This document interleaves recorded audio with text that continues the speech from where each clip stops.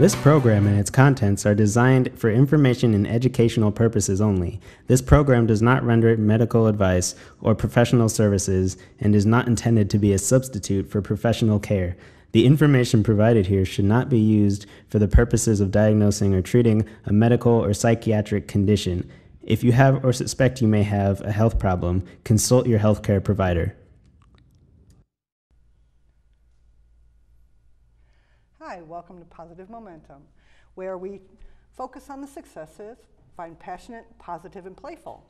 And today I have Carol Stoltenberg with me. And Carol, would you mind doing an introduction and tell everybody what it is you do? Well, I do a little bit of everything, I guess. um, I was a high school German teacher Ooh. for many years, really loved that. Um, and then when I retired, I finally got busy. It uh, is amazing how many different things enter your life when people find out that you're not employed during the day. Yes. so I've gotten involved with uh, Omaha Sister City Association. okay. I was already in the German American Society. I've become more active in my church. And I have traveled, and that is one of my passions, is Okay. travel. Cool. So- Well, you have told me some interesting stories about your travels, and I would like to kind of focus on some of that, if you don't mind. I know you brought some pictures. So, um, where would you like to start with the pictures? Let's kind of just.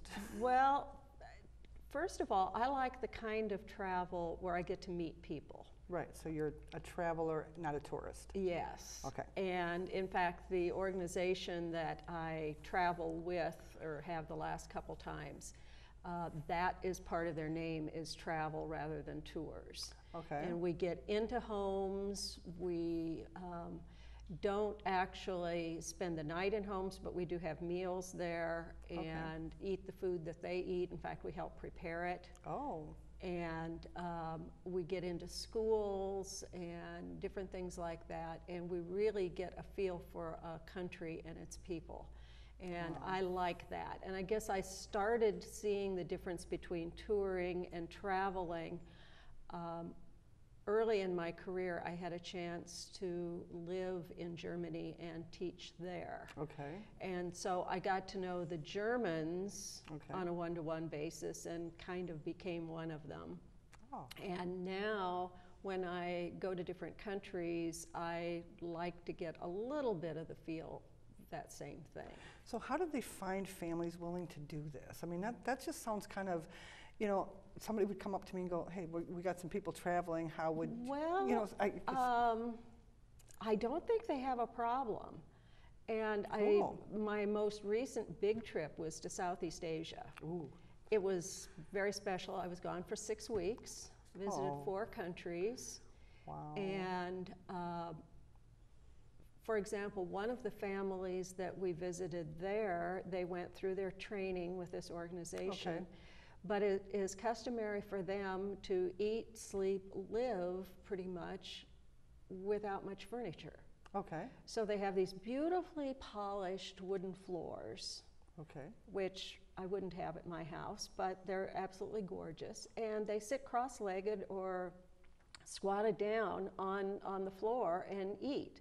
Well, they didn't want to do that to senior citizen Americans okay, because our knees and stuff don't work quite like theirs do. We, we haven't lived that way. right, And so they had to provide this one family with a dining room table and chairs because they didn't have any. So they Oh. provided them with the furniture and taught them how to do stuff. And then we were invited into the home and got to help make some of the food.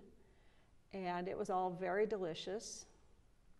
But I have uh, had some adventures down there as far as other kinds of food go. like, Well, um, the, the first really adventurous thing that I had was the silkworm. And I decided when I saw them the first time, I kind of, when else am I going to be able to eat a silkworm? A so I decided to try it. And I mixed it with salad okay, and ate it on kind of a little chip of some kind right, as a sample, and it was good. I decided they actually taste pretty much like peanuts, like cooked peanuts, okay, and that I ate them just plain once I had a chance to do that. Uh, That was one of that was one of the, the more positive experiences. Okay. Um, I also have tried tarantula. Okay. The legs were just crunch. I didn't care a whole lot for the body. Oh, I'm but sorry. yeah, but I did try that, and just one bite of rat. Well, you got to try. You know, you You- only live I'm, once. I'm, I only live once, and I, that's one of my things is that I think people have to take advantage of the opportunities that present themselves. You have to take some risks, Mm-hmm. and you have to do some things that you're not really comfortable with. Well, how else are you going to get outside your comfort zone and Yeah. and grow as an individual? Yeah. Yeah. Wow. So I did do those things, and it was really fun. But um, there were a lot of other things, just um, getting to know the people. When I travel, I take balloons with me. Yes. I don't like to give out tips everywhere I go f- so that I can take pictures of people. But I find that I can make friends with the kids and get them to follow me all over and show me their homes and stuff like that if I do give them a balloon. Oh, wow. Like the Pied Piper kind Yeah, of thing. kind of. And like in Central America, once I was handing out the balloons, and then this one little boy, his mom saw that I was an okay person and invited me not actually into the house, but into the walled in courtyard that they Okay. had there. And we got to see them doing the work that they were doing and everything. So So you are definitely a world citizen. I'd like to think a little bit anyway, yeah. Well, yeah. I, I really enjoy the travel. Well, from what I've seen of your pictures, you, you really get in there. You, you in, involve yourself with the families. You like you said, you're kind of the Pied Piper where the kids are concerned. So, you know, and how else do you reach people but to actually go out there and get involved with them? You know, we could sit there and observe all day long, but we don't get it. Well, and another, another story, in Central America, one of the things like here in this country, we get tattoos and stuff like Okay. that. Well, down there in this one area, the big thing is to get a gold tattoo implant thing in your teeth. Okay. And so this one lady had a gold star in one of her front teeth. And I really wanted to get a picture of it, but I really didn't want to just say, hey, that's kind of weird having a gold, you're a poor person and you have this gold star in your tooth. So I bargained with them a little bit and I kind of wanted one of their beautiful hand woven outfits anyway mm-hmm. and got her laughing and posing with this outfit I was going to buy that I finally did get a picture of her laughing and I could zoom in and enlarge and I had the picture that I wanted. Oh, look at you. So, so it was fun. Oh, I'm sure. Oh and then I kind of try to pass that along as a school teacher. I, one friend tells me that once you're a teacher, you're always a teacher, kind of in your whole Okay. life, forever and ever. Okay, that's possible. And at first, I kind of resented that because I didn't want to be that person that had to be in charge all the time Okay. and assert my lesson plans on everybody else and everything. But one of the things that I really enjoy doing right now is continuing to take high school kids on trips to Germany. Oh, and um, I try to get them. There, the foods aren't as weird as silkworms and I, rats. mean, I spent three years in Germany. I do understand. It, it, it's, It's a lot good. better. We've got bratwurst and rouladen and, and all kinds of other good things. The, the white asparagus in, that's grown near our s- German sister city, Braunschweig, is absolutely to die for. Really? Mm. But I try to get, so I take high school kids, and there are several of us who do this. I am no, by no means do it alone. But, um, and get them, they live with host families Okay. over there, as I do, and experience everything that those host families do.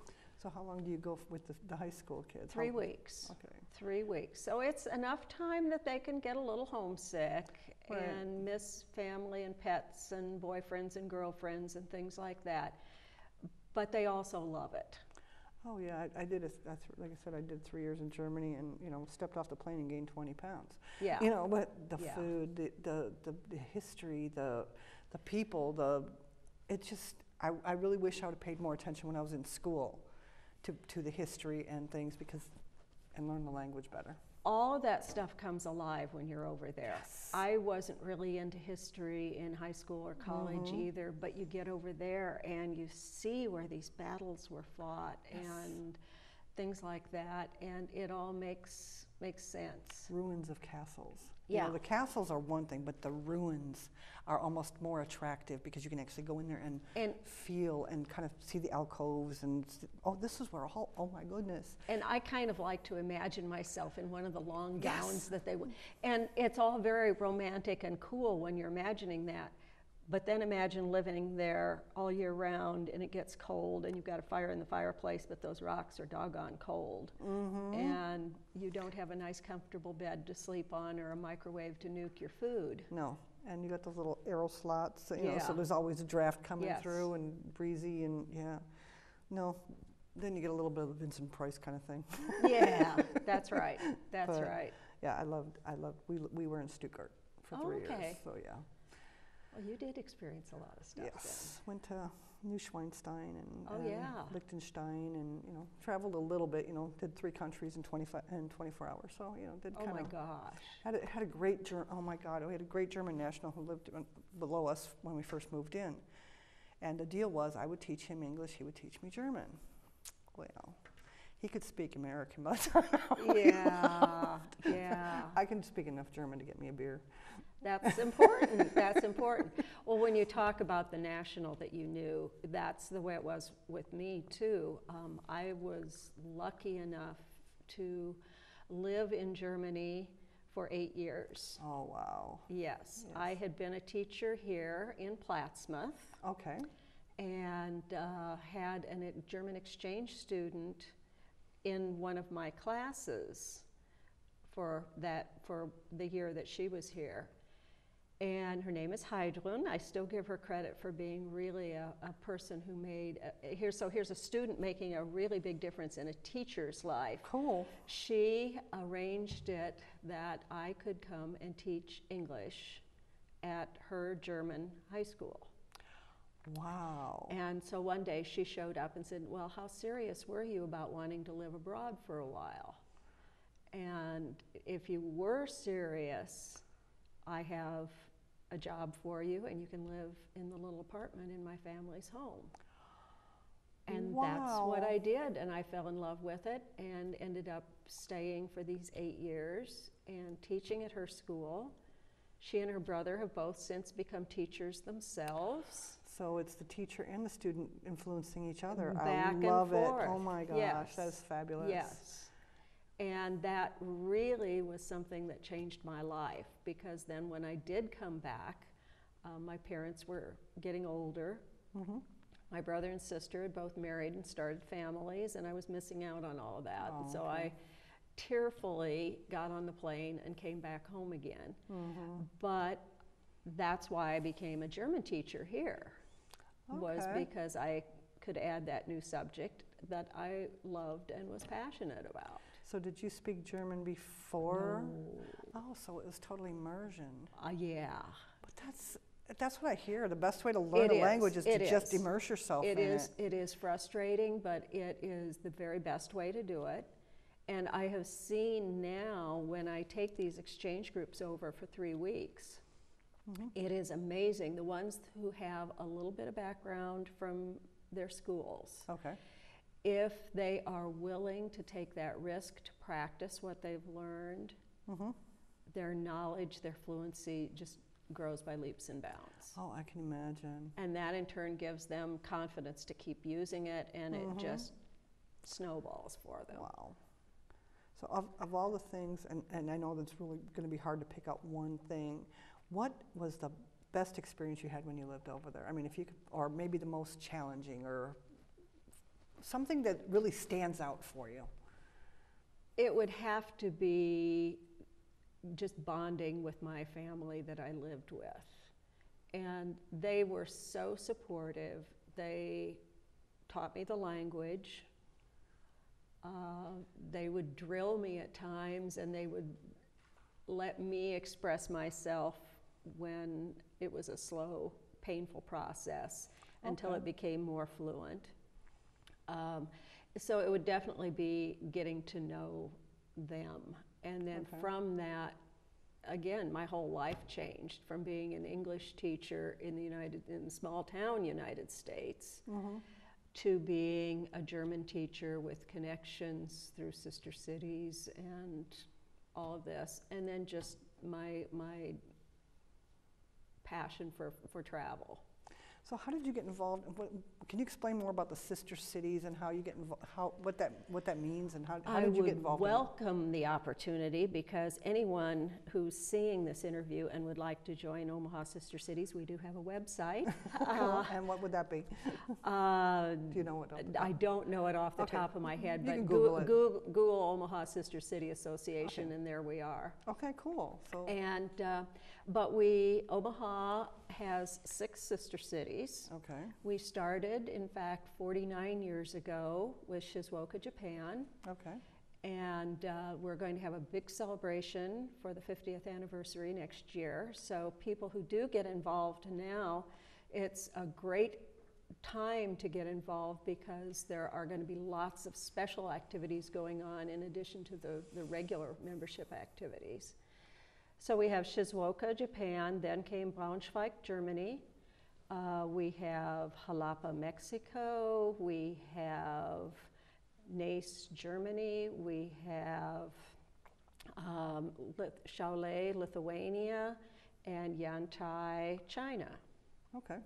And um, we have various opportunities to communicate and occasionally go to those cities to travel Okay. there. And then here in Omaha, the communities for those different countries, uh, we do have a Lithuanian community in Omaha, Mexican communities, and so on. And they host different activities too. Recently, we did a tour of uh, South Omaha Oh, and got into some of the stores and really visited with some of the people. And so we get to know our own community as well as these six cities abroad. And that's a really big thing. oh, it, is because how many of us even know about different the you know, Exactly. we don't different know our cultures own- within our own culture? Yeah. You know. Yeah, and wow. so, so there are six different communities in Omaha that are inviting us to do things. Right. So the 50th anniversary thing is that something people are going to get to go to Japan for, or is that something that we're going There to do will here? be a, there will be a trip to Japan, Okay. um, and lots of other activities. We'll have a big gala ce- celebration here in Cool. Omaha, and feature all six sister cities. oh, okay. So um, it's it's going to be a really big thing, and I would encourage people to get involved. That sounds wonderful, and especially if you, you know, it, it, it's going to encourage diversity as well. Yes. I love that part. Yes. I love that. So you're originally from the area? I am. I grew up on a farm in just north of Omaha, went to school most of the time uh, in Omaha. I started, however, this is dating myself, I started uh, in a one room country school. Oh, I love those. Oh, There's it was great. It was a wonderful experience, and it was just for the first four years. Mm-hmm. But from that, I learned cooperation because the older kids would help the younger ones, and the younger ones would occasionally be able to do something, pronounce spelling words or something for the next older class. And we all played together no matter what the difference in our ages and things like that. Yeah, that's something we've lost with We the have. segregation of, you know, the, the grades. We really have. Um, So anyway, grew up on a farm, uh, loved to horseback ride and do all of those different things. And then um, went through OPS then, once our little school district had to close, Okay. and studied, uh, got my BA out in um, Midland College. It was Okay. it's Midland University now, but college in Fremont. Okay. And it was with a professor out there that I did my first European tour where, you know, every couple of days you go to a different country sort of thing. But it was a good initiation. Mm-hmm. And I really enjoyed it. And in fact, the following year did the same route, recruiting people to go with me.